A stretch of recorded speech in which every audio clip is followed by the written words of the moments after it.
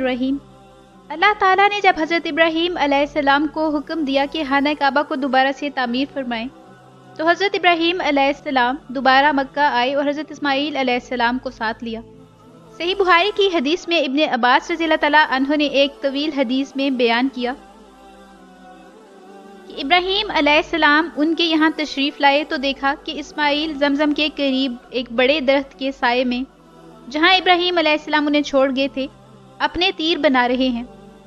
जब अलैहिस्सलाम ने इब्राहीम को देखा तो उनकी तरफ़ खड़े हो गए और जिस तरह एक बाप अपने बेटे के साथ और बेटा अपने बाप के साथ मोहब्बत करता है, वही तर्ज अमल इन दोनों ने भी एक दूसरे के साथ इख्तियार किया। फिर इब्राहिम ने फरमाया इस्माईल अल्लाह ने मुझे एक हुक्म दिया है। अलैहिस्सलाम ने अर्ज़ किया, आपके रब ने जो हुक्म आपको दिया है, आप उसे ज़रूर पूरा करें। उन्होंने फरमाया, और तुम भी मेरी मदद कर सकोगे? अर्ज़ किया कि मैं आपकी मदद करूँगा। फरमाया कि अल्लाह ताला ने मुझे हुक्म दिया है कि मैं इसी मुकाम पर अल्लाह का एक घर बनाऊँ। और आपने एक और ऊँचे टीले की तरफ़ इशारा किया कि इसके चारों तरफ़, उस वक्त उन दोनों ने बैतुल्ला की बुनियाद पर इमारत की तामीर शुरू की। इस्माईल अलैहिस्सलाम पत्थर उठा उठा कर लाते और इब्राहीम अलैहिस्सलाम तामीर करते जाते। जब दीवारें बुलंद हो गई तो इस्माईल ये पत्थर लाए और इब्राहीम अलैहिस्सलाम के लिए इसे रख दिया। अब इब्राहीम अलैहिस्सलाम इस पत्थर पर खड़े होकर तामीर करने लगे। इस्माईल अलैहिस्सलाम पत्थर देते जाते थे और ये दोनों ये दुआ पढ़ते जाते थे। ए हमारे रब, हमारी ये हिदमत तू कबूल फरमा और बेशक तू बड़ा सुनने वाला और जानने वाला है। ये दोनों तामीर करते रहे और बैतुल्ला के चारों तरफ़ घूम घूम कर ये दुआ पढ़ते रहे। ए हमारे रब, हमारी तरफ़ से ये हिदमत कबूल फरमा, बेशक तू बड़ा सुनने वाला और बहुत जानने वाला है। यहाँ एक बात समझना ज़रूरी है कि इस वक्त जहाँ हाना काबा मौजूद है, ये बिल्कुल वही जगह है जहाँ हज़रत आदम अलैहिस्सलाम ने हाना काबा की बुनियाद रखी थी। लेकिन चूँकि मक्का की सरजमीन सहरा पर मुश्तमिल है, और जब सहरा में आंधी और तूफ़ान आता है तो जगह जगह मट्टी को जमा करके मट्टी के टीले और पहाड़ बनाकर छोड़ जाता है। इस वजह से हज़रत आदम अलैहिस्सलाम के बनाए हुए खाना काबा की बुनियाद को ढूंढना बहुत मुश्किल था। लिहाजा अल्लाह ताला ने हज़रत इब्राहीम अलैहिस्सलाम को कुछ निशानियाँ बताईं और बादल का एक टुकड़ा भेजा और उनको हुक्म दिया कि उस बादल के टुकड़े के साय से आप काबा की इमारत की पैमाइश कर लें और निशान लगा लें। यहाँ अल्लाह की एक ज़बरदस्त निशानी हम देख सकते हैं कि अरब के तपते सहरा बियाबान में आसमान पर बादल का एक टुकड़ा खड़ा है और उसके टुकड़े के साय के नीचे हज़रत इब्राहीम अलैहिस्सलाम हाना काबा की इमारत के लिए निशान लगा रहे हैं। आज के दौर की तरह ना उनके पास कोई औज़ार है और ना ही कोई मापने का पैमाना। और वो सिर्फ़ अपने कदमों से एक चौकोर इमारत की पैमाइश के लिए निशान लगा रहे हैं। इस तरह उन्होंने एक खूबसूरत आर्किटेक्चर का नक्शा तैयार किया। अब आते हैं मकाम इब्राहिम की तरफ़। ये हाना काबा से थोड़ा दूर और मुल्तजिम की सीध में वाक़ है। इसके और काबा के दरमियान इतनी जगह है कि नमाज़ की तीन सफ़े आराम से खड़ी हो सकती हैं। इस जगह दो रकात नमाज़ वाजिब तवाफ के लिए भी पढ़ते हैं। इसके बारे में कुछ रिवायात मिलती हैं। एक तो ये कि जब इब्राहिम अलैहिस्सलाम अपने बेटे हज़रत इस्माईल अलैहिस्सलाम के साथ खाना काबा की तामीर कर रहे थे तो जहाँ तक उनका अपने कद के हिसाब से हाथ पहुँचा, वहाँ तक उन्होंने काबा की दीवार को तामीर किया। लेकिन अब इन्हें किसी चीज़ की ज़रूरत महसूस हुई जिस पर खड़े होकर वो तामीर को ऊपर ले जा सकें। तो अल्लाह ताला ने उनको हुक्म दिया कि फ़लाँ पत्थर ले लें और उस पर चढ़कर तामीर करें।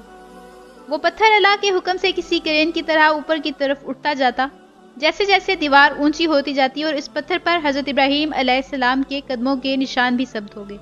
पहले ये पत्थर काबा की दीवार के साथ लगा था और लोग इसे चूमते थे और वहीं से तवाफ शुरू किया करते थे। ये आजकल की तरह सोने के ताक में नहीं रखा था, मगर बाद में सुहाबा कराम रिजवान अजमैन के दौर में मक्का में सैलाब आया तो पानी ने इस पत्थर को अपने साथ बहाकर काबा से दूर कर दिया। अब ये सवाल पैदा हुआ कि इस पत्थर को उसी जगह रहने दें जहाँ पानी उसे ले आया है, या फिर उसे धकेल कर वापस उसकी पुरानी जगह पर रख दिया जाए। जब ये पत्थर काबा की दीवार के साथ लगा था तो लोग तवाफ के दौरान उससे टकराते और उन्हें उससे तकलीफ़ होती थी। तो सुहाबा कराम ने आपस में मशवरा करके उसे वहीं रहने दिया जहाँ पानी उसे ले आया था, जहाँ ये आज तक मौजूद है। मकाम इब्राहिम के बारे में एक और रिवायत भी आती है कि ये वो मुकाम था जहाँ हज़रत इब्राहीम ने हजूर अक्रम सल्लल्लाहु को नमाजें पढ़ाई थी। पहले दिन पाँच नमाजें अव्वल वक्त में और दूसरे दिन पाँच नमाजें आखिर वक्त में पढ़ाई। और एक और रिवायत मकाम इब्राहिम के बारे में है कि उस पत्थर पर खड़े होकर हज़रत इब्राहिम अलैहिस्सलाम ने लोगों को हज की दावत दी थी, जबकि बाज़ रिवायात में है कि वो जगह अरफात का मैदान है, मकाम इब्राहिम नहीं है। पिछली वीडियो में हमने ये जाना था कि हज़रत नूह के ज़माने के बाद दुनिया में बुत परस्ती कैसे शुरू हुई। आज की इस वीडियो में हम ये जानेंगे कि मक्का में बुत परस्ती कैसे शुरू हुई। शहर मक्का में बुत परस्ती को एक आदमी ने वजूद दिया जिसका नाम अमरो बिन लही था।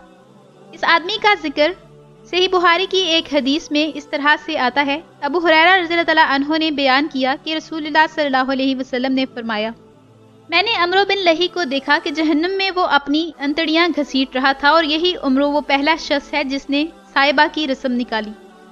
यहाँ आपको ये भी बताते चले कि बुखारी और मुस्लिम की रिवायात के मुताबिक साहिबा से मुराद वो ऊँटनी होती थी जिसे लोग अपनी बीवी के लिए मुख्त कर लेते थे और उन पर कोई चीज़ नहीं ला दी जाती थी।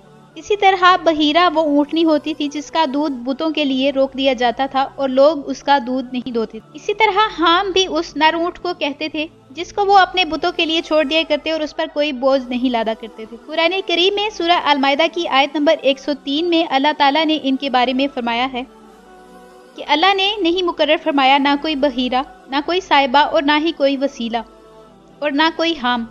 लेकिन जिन लोगों ने कुफर एहतियार किया, वो अल्लाह पर झूठ बांधते हैं और उनमें अक्सर वो हैं जो समझ नहीं रखते।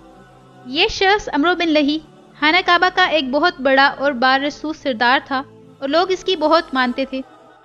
उसकी एक खास बात यह थी कि वो हाजियों की बहुत खिदमत करता था और उनको पानी पिलाता था, बल्कि शहद का शरबत भी पिलाता था। उस जमाने में भी हाजियों की खिदमत को बहुत सवाब समझा जाता था और एजाज की बात समझी जाती थी। एक दफ़ा ये शख्स अमरो बिन लही अपनी तिजारत के सिलसिले में मुल्क शाम गया तो वहाँ उसने बुत परस्ती होती देखी। वहाँ एक कौम आबाद थी जिसका नाम किताबों में अमाल का आता है। उस कौम ने भी अपने बुज़ुर्गों के बुत बनाए हुए थे और उनका कहना था कि मानते तो हम एक खुदा को ही हैं, लेकिन क्योंकि वो हमें नज़र नहीं आता तो हमें लगता है कि उस तक हमारी बात नहीं पहुँचती। इसलिए हमने ये छोटे छोटे खुदा बना लिए हैं। कोई हवा का खुदा है, कोई पानी का और कोई रिज का वगैरह वगैरह हम इन खुदाओं से बात करते हैं और ये हमारी सिफारिश बड़े खुदा से कर देते हैं। चूँकि ये हमारे सामने होते हैं तो हमारी इबादत भी अच्छी हो जाती है। अमरू बिन लही को ये बात बहुत पसंद आई और वो वहाँ से एक बुत खरीद लाया और खाना काबा में रख दिया। इस बुत का नाम हुबल था। ये वो पहला बुत था जो हाना काबा में रखा गया। उसके बाद अमरू बिन लही ने वही बात की जो कौम अमालिका ने अपने बुतों के बारे में की थी। फिर उसने मक्का के बाकी कबीलों को दावत दी कि वो भी अपने अपने बुत बनाकर हाना काबा में लाकर रख दें। लेकिन शर्त ये रखी कि वो बुत मक्का की मुकदस मटी से बनाए जाएँ। इस तरह मक्का में बुत परस्ती शुरू हुई और बाद में जिस कबीले का बुत खाना काबा के अंदर रखा होता था, ये उसके लिए बड़े एजाज की बात हुआ करती थी। अरब के कबाइल अपनी मोहब्बत और दुश्मनी दोनों के लिए मशहूर हैं। जिस कबीले का मक्का वालों से झगड़ा हो जाता, उस कबीले का बुत खाना काबा से निकाल दिया जाता था। ये उस वक्त उनके खुदाओं का हाल था। इस तरह मक्का में बुत परस्ती आम हुई, जबकि उससे पहले मक्का में हज़रत इब्राहिम सलाम का दीन था और उनके बारे में कुरान में आता है कि वो मुशरक नहीं थे। हज़रत इब्राहिम सलाम तो खुद बुतों से बेजार थे और उनका सारा वाक़ हमें मालूम है। फिर जब मक्का में बुत परस्ती आम हो चुकी थी, लोग बहुत सी बुराइयों में घिरे जा चुके थे और अब उस नबी का इंतज़ार हो रहा था, जिसके बारे में गुजशत आसमानी किताबों में बहुत सी निशानियाँ बताई गई थी तो अब अल्लाह ताला ने जो आप सल्लल्लाहु अलैहि वसल्लम के लिए नस्ल चुनी, वो हज़रत इब्राहीम सलाम के बेटे हज़रत इस्माईल सलाम से चली। वो कबीला कनाना था और कनाना में भी जो सबसे आला कबीला था, वो कुरेश था। और कुरेश में सबसे आला बनु हाशिम के लोग थे। और बनु हाशिम में सबसे आला खानदान अब्दुल मुतलिब का था और उसी खानदान से हमारे महबूब नबी सल्लल्लाहु अलैहि वसल्लम का ताल्लुक था। सही बुहारी की एक हदीस में अबू हुरैरा रज़ी अल्लाह ने बयान किया कि रसूलुल्लाह सल्लल्लाहु अलैहि वसल्लम ने फरमाया मैं आदम सलाम से लेकर बराबर आदमियों के बेहतर करनों में होता आया हूँ, यानी शरीफ और पाकिज़ा नस्लों में।